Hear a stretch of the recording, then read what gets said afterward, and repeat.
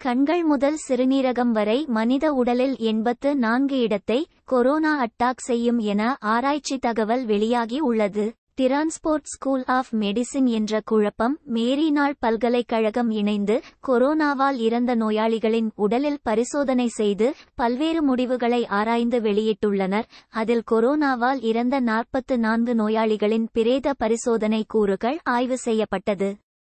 திசுக்களின் பரவி உள்ள வைரஸ் தொற்றானது உடலில் எண்பத்து நான்கு இடங்களில் பாதித்திருந்தது. ஆராய்ச்சியில் அம்பலமாகி இருக்கிறது.